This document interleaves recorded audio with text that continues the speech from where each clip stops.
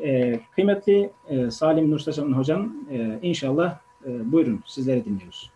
Eyvallah. Ben de e, bu saatte evlerine bizleri konuk eden tüm bizi izleyen değerli e, izleyicilerimize teşekkür ediyorum. Rabbim inşallah şu an e, Azerbaycan'da e, vatan mücadelesi veren soydaşlarımıza başarılar nasip etmesini dileyerek İzmir'deki e, vefat eden depremde kardeşlerimize rahmet dileyerek e, sözlerime başlamak istiyorum. E, cümleten selamun aleyküm. Değerli dostlar, e, benim konum ailede sorumluluk bilinci. Bununla ilgili inşallah e, konuşmaya çalışacağız ama konuşmama her şeyden önce ailede sorumluluk bilinci konusunu daha iyi anlayabilmek için sorumluluk ve bilinç kavramlarını biraz irdelememiz gerekiyor. Sorumluluk nedir? Nasıl tanımlanmaktadır? Bilinç nedir? Nasıl tanımlanmalıdır? Sorumluluk ile bilinç arasında iç içe iki kavramken böyle bir tamlama yapmak, sorumluluk kavramını daha da keskinleştirmek, daha da derinleştirmek için mi kullanılmıştır? Konumuza ilk önce isterseniz buradan başlayalım. Sorumluluk, insanın kendi davranışlarının veya kendi yetki alanına giren herhangi bir olayın farkında olması, davranışlarının ve durumlarının sonuçlarını üstlenmesi olarak tanımlanmaktadır. Bu tanıma göre farkında olmak, bilinç sahibi olmak, insanın özgür iradesiyle seçimini, tercihini yapabilmesi, bu seçimin sonucu ve etkilerini peşinen kabullenmeyi so, e, içermektedir bu tanım.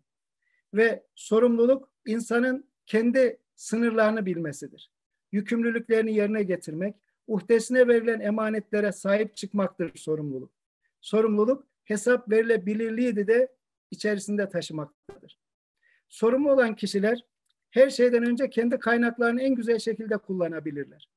Kendine güvenen, kendi kararlarını kendisi veren, davranışlarının sonuçlarını üstlenen, bağımsız hareket edebilen, başkalarının haklarını çiğnemeyen, öz eleştiri yapabilen ve işbirliğine yatkın, mutlu, uyumlu, başarılı kimselere biz sorumlu kimseler diyoruz.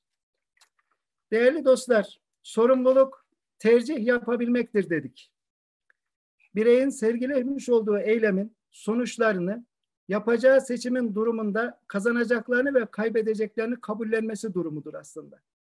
Çünkü her tercih bir vazgeçiştir.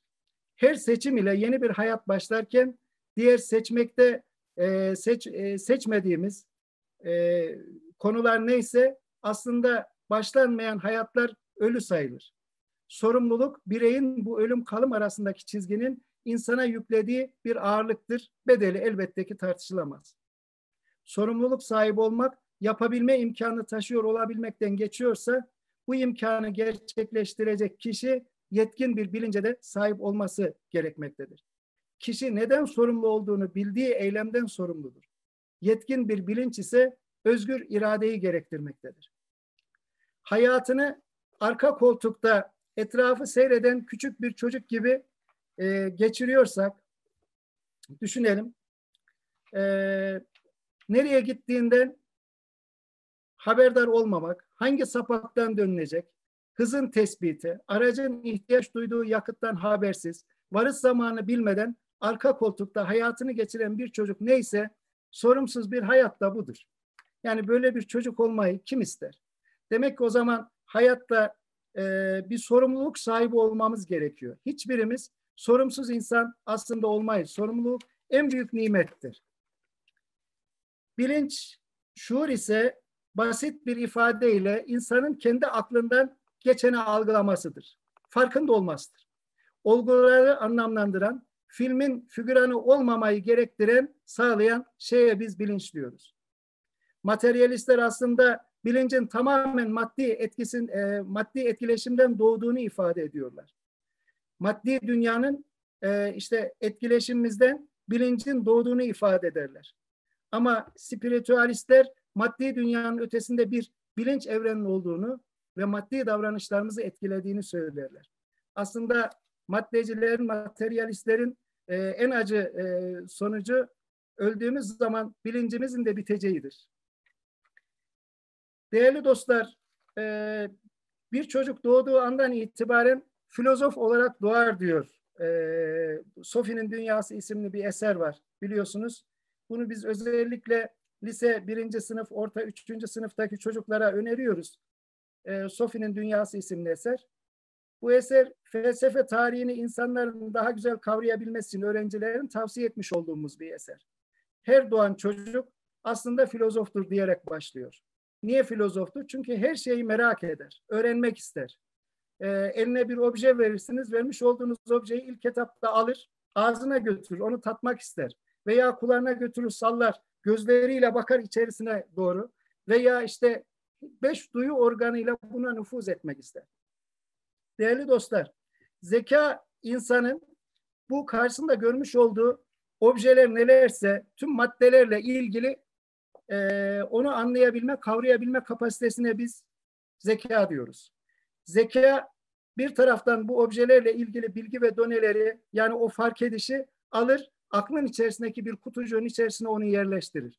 Kutucuğun içerisinde o maddeyle ilgili, o objeyle ilgili tüm bilgiler yerleştikten sonra, oluştuktan sonra işte o zaman onu biz kavramaya başlarız. Ama kavradıktan sonra yine zeka akılla bir üst noktada bulunan şuur arasında gidip gelmeye başlar. Bu gidiş gelişlerin neticesinde görünenin üzerinden görünmeyeni insan tespit etmeye başlar.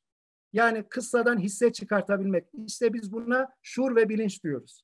Ve bir insanda eğer bilinç olursa bu davranışa geçer. Yoksa direkt bilgi insanı davranışa götürmez. Çok alim insan vardır ama yaşamıyordur. Hayatında işte o bildiklerinin çok fazla bir tesiri yoktur. Eğer o bildikleri şuur haline geçerse, bilinç haline geçerse değerli dostlar, işte o zaman davranış haline geçebilmektedir. Şimdi e, konumuza başlarken ifade ettiğim gibi hani demiştim ya sorumluluk bilinci. O zaman biz bu tamlamayı neden yapıyoruz? Biz bu tamlamayı sorumluluğu daha genişletebilmek, daha derinleştirebilmek ve daha keskinleştirebilmek için sorumluluk bilinci diyoruz.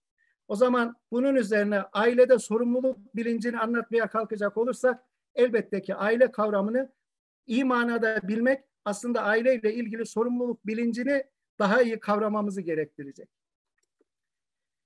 Değerli dostlar, Avrupa'da uzun müddet fert mi önce gelir, cemiyet mi, toplum mu önce gelir tartışması yapılmış. Kimi filozoflar tarihin eski devirlerinden beridir e, insanın vahşi birer canavar gibi yaşadığını ileri sürerken kimi filozoflar ise eski devirlerde özel hayata ve şahsiyete imkan ve fırsat tanımayan kılan adı verilen insan sürüleri olarak yaşadığımız öne sürülmüştür. Sevgili peygamberimiz ve tüm peygamberler insanlığı aileyle başlatırlar. Yani İslamiyet sosyolojisini aile üzerine kurar. Ayet-i kerime estağfirullah ya eyyühennas ey insanlar inna halaknakum min zekerin ve biz sizleri bir e, e, bir dişi ve erkekten yarattık buyuruyor. İslamiyete göre değerli dostlar fert ve toplum iç içe bir bütünlük ifade eder. Bu hüviyetiyle aile cemiyetin çekirdeğini oluşturur. İslam sosyolojisinde ana baba ve çocuklar bir arada toplumun nüvesini teşkil ettikleri gibi ayrı ayrı birer şahsiyet olmanın da hazını yaşamaktadırlar. Değerli dostlar, aile toplumun en küçük yapı taşıdır. En önemli kurumudur. Aile sadakat ister. Aile sevgi ister. Aile güven ister. Aile koruyup kollama ister. Sorumlulukla samimiyet arasında sıkı bir bağ vardır. Sorumluluk insanın yaptığı işte, yüklendiği görevinde samimi olması, samimiyet ise dinin ta kendisidir. Din samimiyetten ibarettir. Şanlı önderimiz Aleyhisselatü Vesselam Efendimiz din samimiyettir, din samimiyettir, din samimi olmaktır diye üç kere buyurmuşlar. Ve orada bulunan sahabiler şanlı önderimiz Aleyhisselatü Vesselam Efendimiz'e dönerek kime samimiyet ya Resulallah dediklerinde şanlı önderimiz Aleyhisselatü Vesselam Efendimiz Allah'a karşı samimiyettir din. Kitaplarına, peygamberlerine samimiyettir din. Müslüman idarecilere samimiyettir din. Ve bütün Müslümanlara, tüm insanlara samimiyettir buyurarak aslında bizim görev ve sorumluluklarımızın kimlere karşı olduğunu burada beyan etmiş bulunuyorlar. Sorumluluk bilinci değerli dostlar küçük yaşta başlar. Sorumluluğu ilk önce aile içerisinde kazanmaktayız. Sorumluluk sorumlu anne ve babadan öğrenilir. Anne ve babalar ilk önce kendi sorumluluklarını bilmek zorundadırlar. Baba kendi görev ve sorumluluklarını yerine getiriyorsa, anne kendi görev ve sorumluluklarını yerine getiriyorsa, çocuk da görevlerinin gerektiği sorumlulukları yerine getirecektir. Şimdi bizim özellikle e, üniversitede din eğitiminde hocamız, Şeyh hocamız, Muhammed Şeyh hocamız bir annenin babanın çocuğuna namazı kılması hususunda böyle sık sık tekrar etmesi yerine kendi ibadetini canı gönülden yapması, işte sabahleyin giderken çocuğuna hadi birlikte camiye gidelim diyerek onunla birlikte o işleri, ibadetleri yapabilmesi ama canı gönülden onun huzurunda yaptığı zaman çocuğun hiç kendisine namazını kıl demeden namazını başlayacağını ifade ederdi. Değerli dostlar, komünistler, anarşistler, hedonistler başta olmak üzere birçok kişi ve çevre aileyi yıkmak, en azından zayıflatmak için çalıştılar ve hala çalışıyorlar. Sovyetler döneminde Kızıl İhtilal'in heyecanı ile hareket eden komünist liderler aileyi lav etmişler. Yani aile kavramını tamamen ortadan kaldırmak istemişler. Fakat aile dışında yetişen nesillerin, çocukların ve gençlerin perişan halini gördükleri zaman dehşette kapılmışlar. Yeniden aileye dönüş projeleri başlatmışlardı. Değerli dostlar, ailenin en önemli fonksiyonu beden ve ruh sağlığı yerinde olan nesiller yetiştirebilmektir. Bu da ancak kendilerini ailelerine vakfeden, bu sorumluluğu ve bilinci taşıyan ana ve babalarda babalar tarafından yapılabilmektedir. Ailenin bir diğer fonksiyonu da çocuklarına milli ve mukaddes temel değerleri aşılamak olmalıdır. Kendi kültür ve medeniyetlerine yabancılaştırmadan başarılı birer şahsiyet haline getirmektir. Ailenin çocuklarına bırakabilecekleri en büyük miras Şanlı Önderimiz Aleyhisselatü Vesselam Efendimiz terbiye olarak ifade etmektedirler. Ailenin iki önemli vazifesi daha vardır. Bu iki önemli vazife değerli dostlar bunlardan biri ailenin kendi çocuklarına yeteneklerine göre meşru bir iş ve meslek kazandırmasıdır. Toplumsal iş bölümünde herkes kendine, cinsiyetine, zaman ve zemine uygun bir yer bulabilmelidir. Bu iş bölümünden hem şahsiyetler, hem aileler, hem de millet ve devlet fayda görmelidir. Serseriliğe, sahipsizliğe, tufeyliğe asla izin verilmemelidir. Görülüyor ki bu konuda aileler devletin de desteğine muhtaçtır. Doğum öncesinden başlayarak çocuklar yetişkinlik çağına gelinceye kadar hem ailenin hem de devletin ortak himayesi altında olmalıdırlar. Ancak devlet bu vazifesini yaparken ailenin çocukları üzerindeki hak ve mesuliyetlerine gereksiz yere müdahale etmemelidir. Unutulmaması gereken şudur ki çocuk herkesten önce kendi ailesine aittir. O o ailenin bir ferdidir.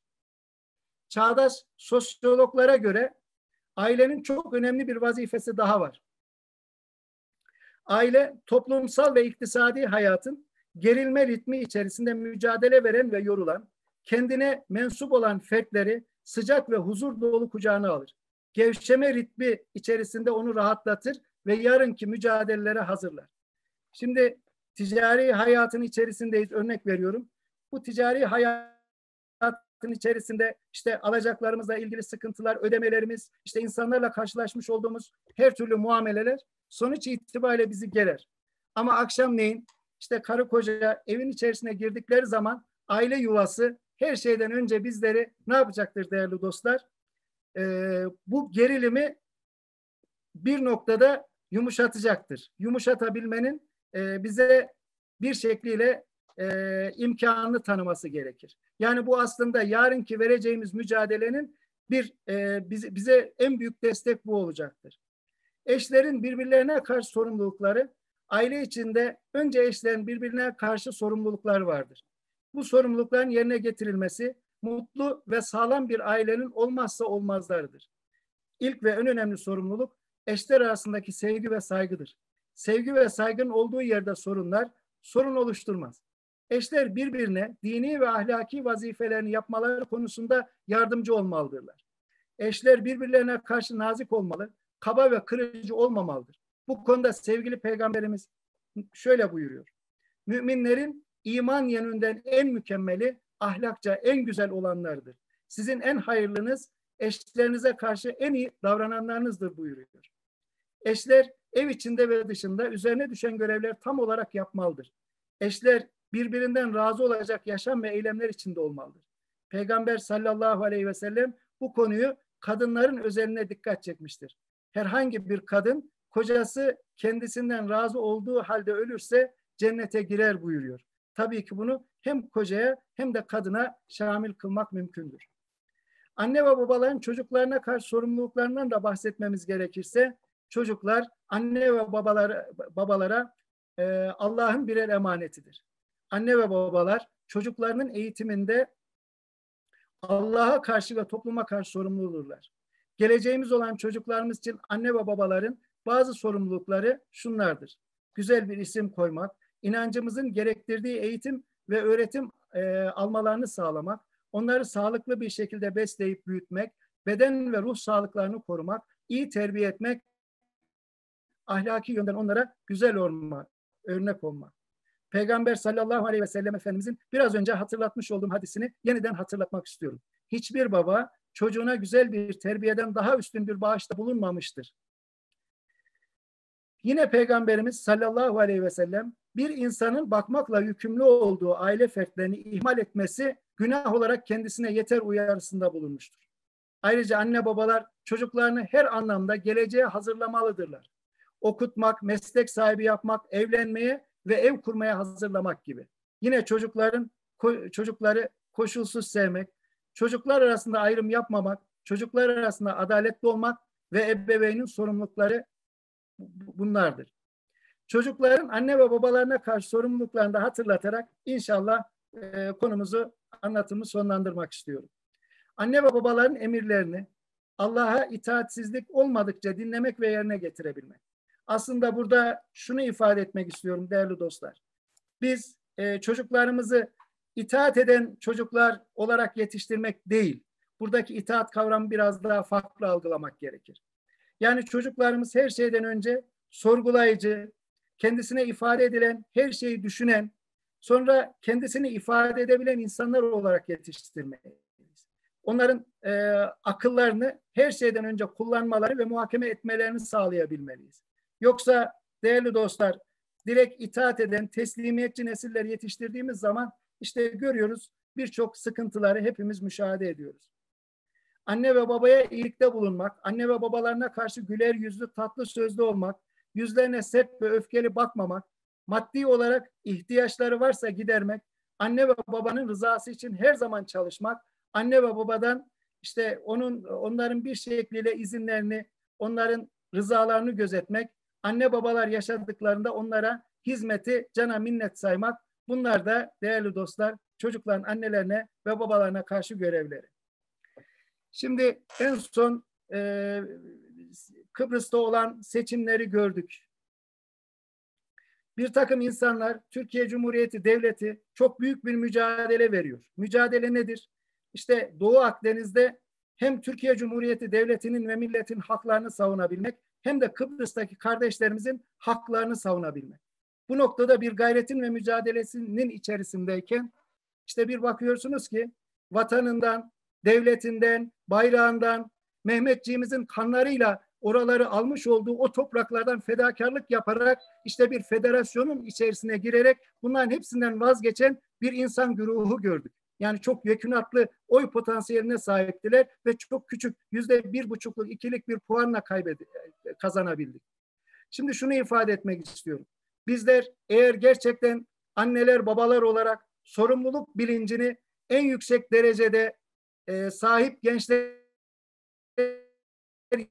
yetiştirirsek, dinine, devletine, vatanına, milletine, bayrağına, geleceğine sahip çıkan bir nesil yetiştirebilirsek işte o zaman geleceğimizi teminat altına alabiliriz. Peyami Safa öyle diyor. Gençliği hayatta olmayan bir cemiyet, e, gençliği hayatta olmayan bir cemiyet yatalaktır. Yatalak yani değerli dostlar kendi ihtiyaçlarını karşılayamayan insan demektir. Başkalarına tevdi edilmiş tüm e, ihtiyaçları. Yani biz Hocam, geleceğimizde Hocam inşallah toparlayalım. İnşallah Eyvallah. toparlayalım. Süremizin sonuna geliyor. Eğer bizler eyvallah hocam. Eğer bizler geleceğimizden emin olmak istiyorsak ve Türkiye Cumhuriyeti devletini, İslam ümmetini gelmesi ve olması gereken en yüksek noktalara getirebilmek istiyorsak değerli dostlar, anneler, babalar eşlerimize karşı sorumluluklarımızı en güzel şekilde yerine getirmek. Bu manada çocuklarımıza karşı sorumluluklarımızı yerine getirebilmek ve onlardan da aynı şekilde bu sorumluluklara cevap verebilme noktasında bir gayretin içerisinde olmalıyız. Bu saatte sizleri evleriniz, e, bizleri evlerinize konuk ettiğiniz için ben yine teşekkür ediyorum. Rabbim inşallah devletimize, milletimize, İslam ümmetine hayırlara vesile kılsın. İnşallah Rabbim şu pandemi sürecinden tüm e, insanlığı kurtarsın diyerek sözlerimi bağlamak istiyorum. Çok teşekkür ediyorum. Sağ olun, var olun. Selam ve hürmetlerimi sunuyorum. Hocam ağzınıza sağlık. Allah razı olsun. Bizlere de teşekkür ediyoruz. Ee, programa emeği geçen e, bütün hocalarımıza da ayrıca teşekkür ediyoruz. Ee, şöyle küçük bir katkıyla inşallah e, sözlerimizi tamamlayacağız. Ee, bizler genelde haklarımızın peşine düşüyoruz da e, sorumluluklarımız mevzu bahis olduğunda biraz bu konuda hassasiyet göstermeyebiliyoruz. Rabbimiz bize buyuruyor ya ne zulmedin ne de zulme maruz kalın e, gerek eşlerimize gerek çocuklarımıza karşı bir takım e, haklarım bir takım haklarımız olduğu gibi birbirimize karşı birbirimize karşı sorumluluklarımız da var. Bu iki dengeyi e, ikisi arasında dengeyi kurmamız gerekiyor. E, bir de e, yılların yükünü taşıyabilecek şekilde e, bir aile yuvası inşa edebilmemiz için sağlam temeller üzerine bu aile yuvasını inşa etmemiz gerekiyor. Bunun da ancak e, Kur'an ve sünnet temelinde inşa edilmesi mümkündür. Kur'an ve sünnet gerçekten hayatımızın her alanında bizi kuşatması gerektiği gibi ailemiz noktasında da bizi kuşatması gerekiyor. Bu noktada Kur'an ve sünnet gerçekten e, bizim elimizde öyle öyle bir nimet ki biz bazen bunun farkında olamayabiliyoruz. E, şu kıssayı, şu hadiseyi anlatarak inşallah sözlerimi tamamlayayım.